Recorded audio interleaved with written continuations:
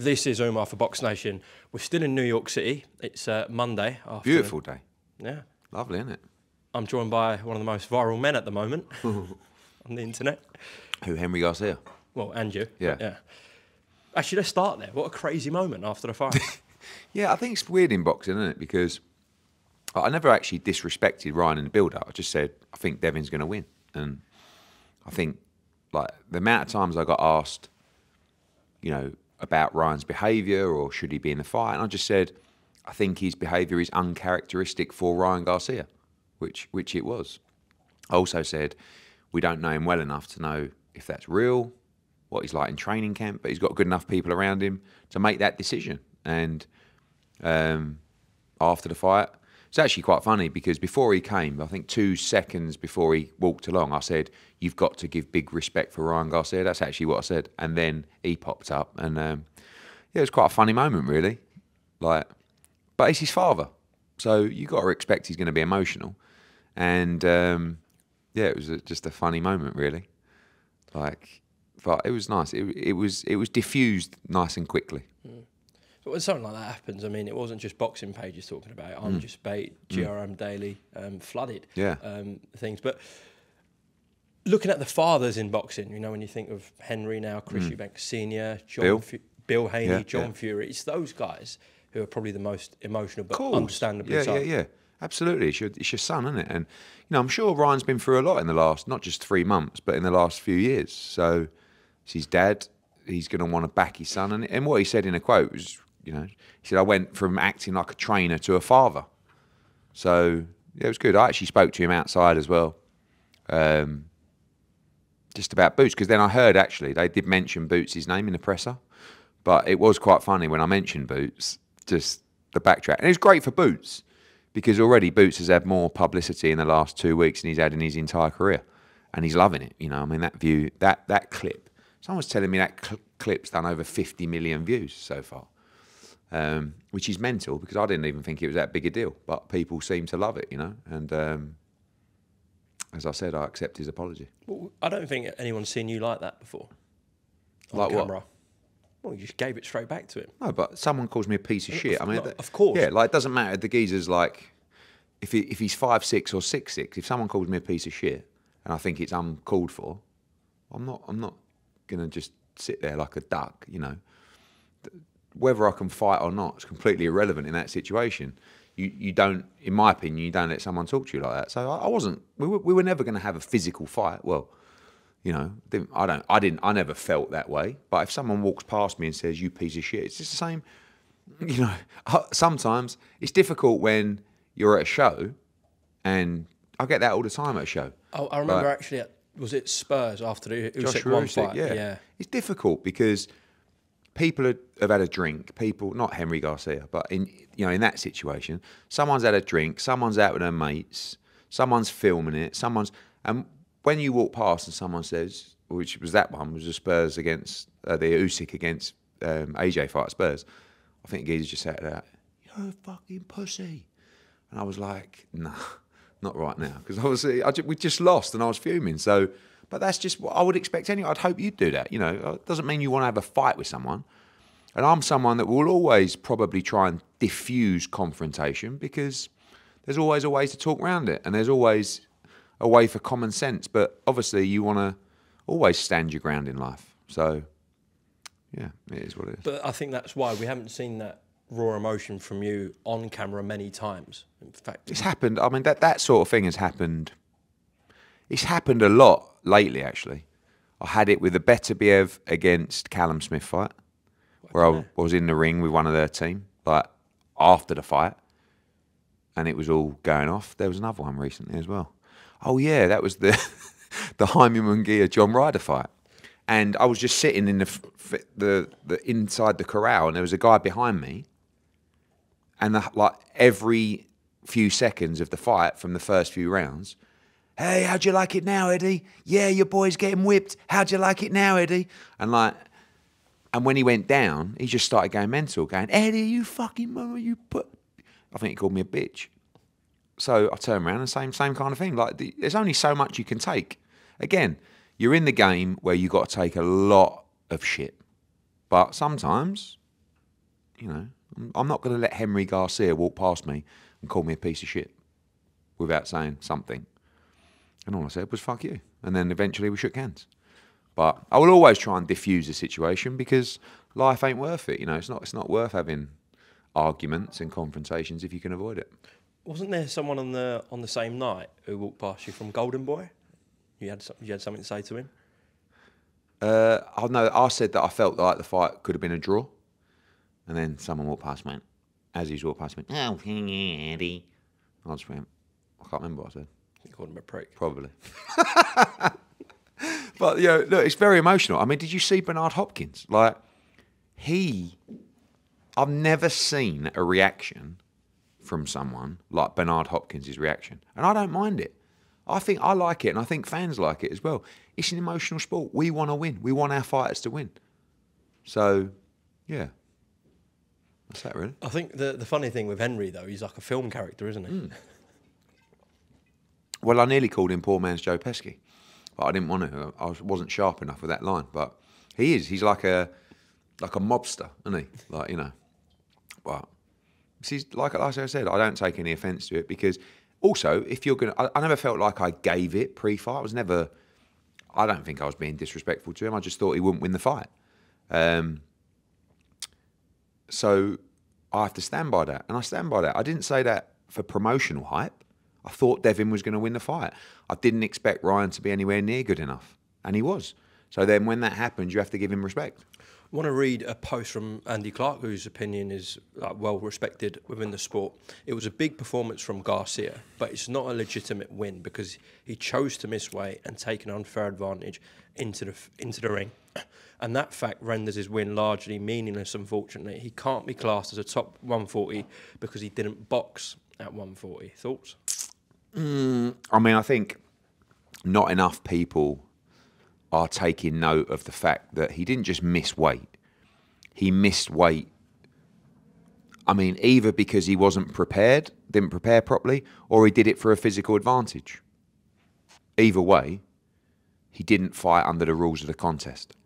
However, once you agree a deal after there for the fight to go ahead, it's fair game. You understand what I'm saying? So the original terms of the fight were not honoured by Ryan Garcia.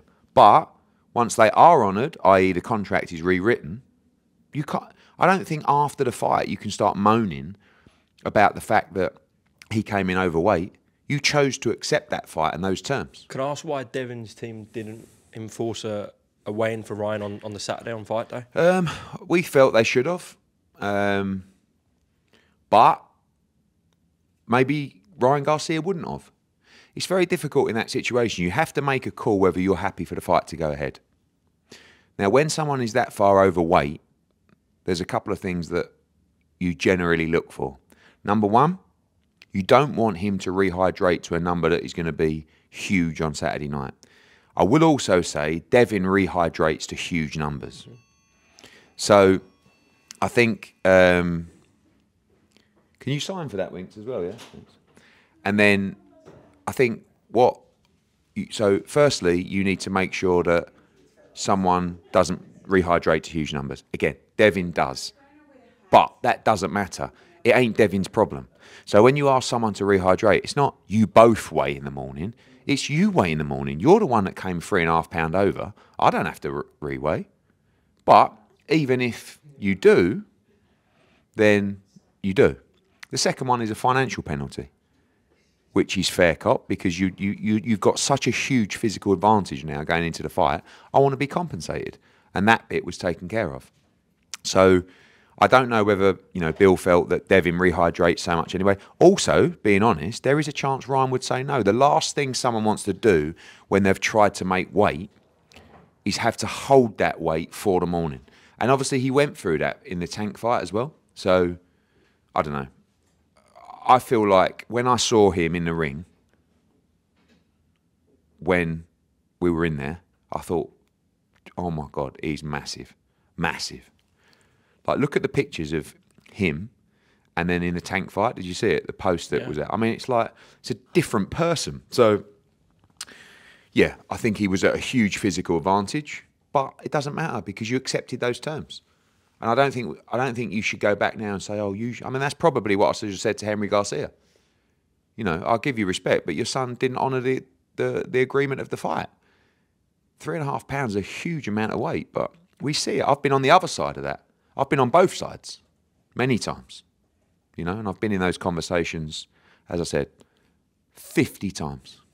How many rounds did you actually give Ryan apart from the, the knockdown rounds? Only really the rounds with the knockdown, honestly. Like, I, at the end of the fight, I, I squeezed Devin the 12th round to have it very close. Well, you didn't give him the first round, right? The first round, sorry, yeah. So after like five rounds, when was the knockdown? Sixth? Seventh, was it sixth? Seven? Seventh. Okay. So I know for a fact after five rounds, I had it 4 1 to Devin, which I think actually most, a lot of people did.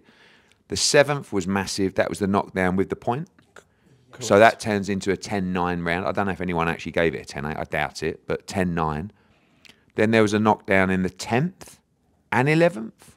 Yeah? Yes. Well, those two were just game changers. I mean, up to that point, I'm screaming at Devin saying, Do you know what? It was actually at the end of the ninth round, I thought Devin's legs started to look really weak. And I thought, blimey, we've got three rounds left in this fight. But I was screaming at him, all you got to do is just win the rounds and just box.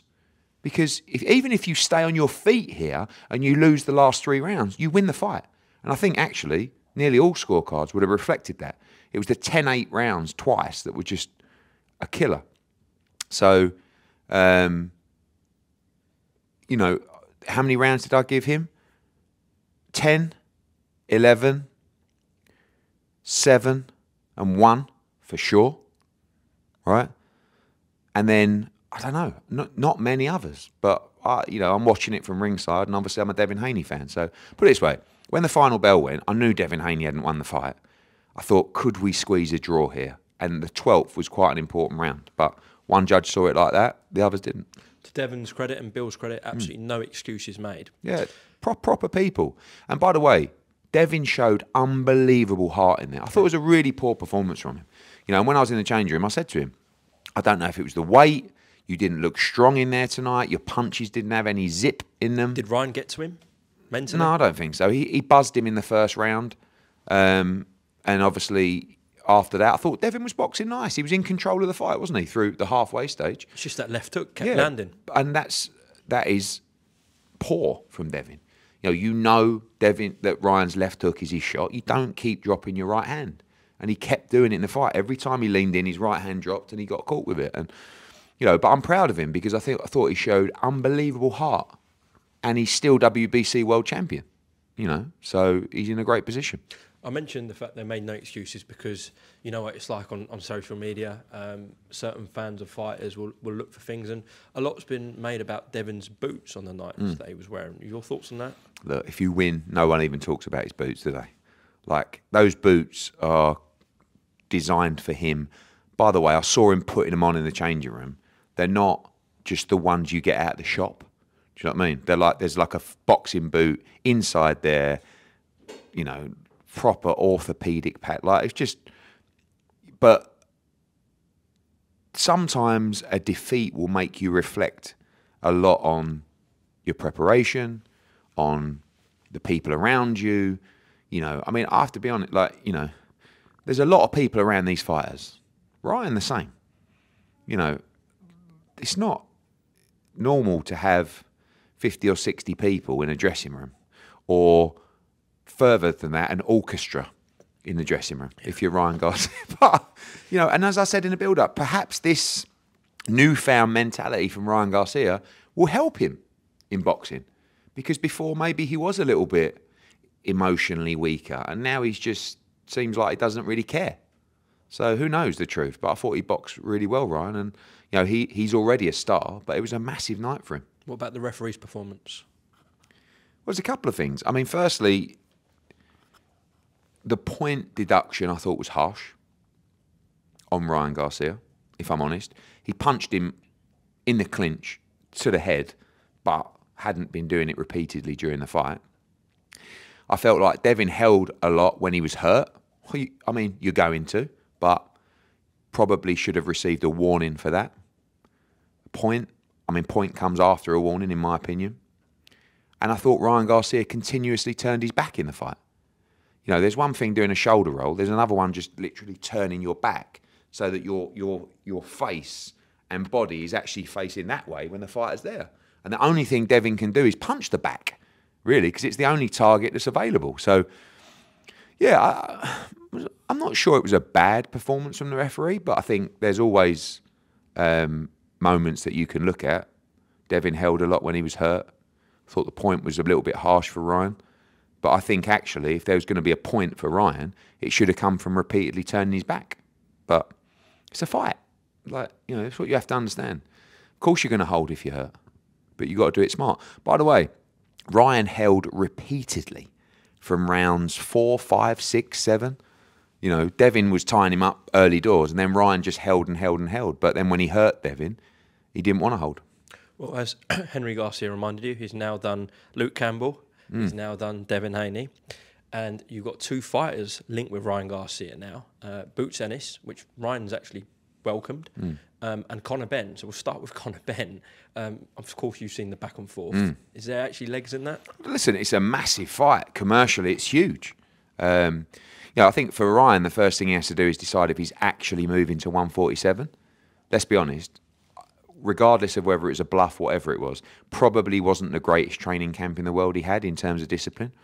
So, can he make 140? If he can, I'd like him to fight Subriel Matias. Of course, they won't fight him. If they go to 147, I'd like him to fight Jaron Ennis. Of course, they won't fight him. Conor Benn, they may they may fight, you know, and, and we'd be bang up for that fight. But Ryan's a star. Ryan's going to call the shots now. You know, it really, in terms of whoever he fights. I mean, the Haney rematch is a massive fight as well. So Ryan's got loads of options, really sitting pretty. And I have to be honest with you, I think he's hilarious. I mean, I've been watching his stuff since the fight. Absolutely, like we need characters in the sport. As long as he's okay, genuinely, like as long as he he's okay, and it's not something that you know people are concerned about his behaviour, and he's just in control of his emotions. Great, I think he's utterly entertaining. But you know, I hope the people around him now can stay close to him and just make sure he's okay.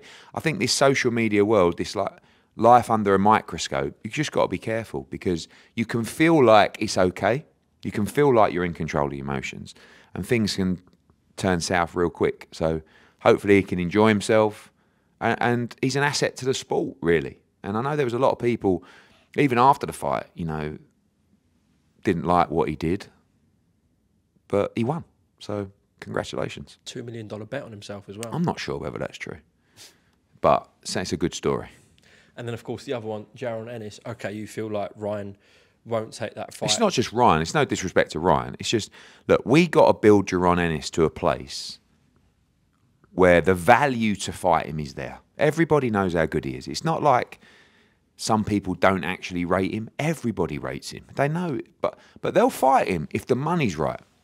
But we got to build Jaron to that place, and it's been a great start. The announcement by us, the stuff with Henry Garcia. Hopefully, we get his first fight locked in soon, and we're going to build him to that place. But listen, if anyone's ready to fight him, oh, we're we're all in. Well, if you go on Michael Benson's page, he's just put out uh, His Excellency, who's also Yeah, in New yeah. York, wants to make Terence Crawford v. Jaron Correct. Yeah. uh, Ennis this year, which is great news for yourself and Jaron. Yeah, he told us. You know, he told us uh, when when we had a meeting with him, he would like to make that fight later in the year. It's one of the best fights in boxing. And and Jaron Ennis looked his excellence in the eye and said, "We're all in." What His Excellency has done has been remarkable Hmm. so far already, but the fights that he's talking about for the rest of the year and potentially early next year, it's just like one after the other. It's like a mm. conveyor belt. Yeah, I mean, obviously, look, I think we kind of forget a little bit. We've got four weeks till Fury Usyk. Yeah, correct. Less three weeks this Saturday. Three weeks of Saturday, Yeah. five or six weeks till the Five v five. Yeah. I mean, plus then we've got the big event coming in America, which will be announced on Wednesday, and then we've got the big event hopefully in Wembley, which he's already talked about, and then we're back to Saudi Arabia for Riyadh season. So like, and and all the fights that he's talking about are just incredible. So it's very very exciting times, and you know we're all everybody involved is just riding a crest of a wave for for what's happening in the sport. It's funny when we talk about the five v five, we don't even mention Beterbiev I know. I mean, I think that's probably the best fight in boxing. So, as I said, June first, you know, Bivol Beterbiev having the five v five. I think it's the best card we've ever seen. Okay, Eddie, appreciate your time in New York. Any closing comments on Saturday night? No, all good. Um, congratulations to Ryan Garcia, Henry. and, and also congratulations to Derrick James because I, you know, whether Ryan was bluffing or whatever he was, I'm sure Derek has had a lot of patience um, in that training camp, and I thought his performance in the corner was very, very good. And and I think also we should show big respect to Devin Haney that never showed any quit, regardless of how hurt he was, and he was a true warrior on Saturday night. Thank you very much, Eddie. Cheers.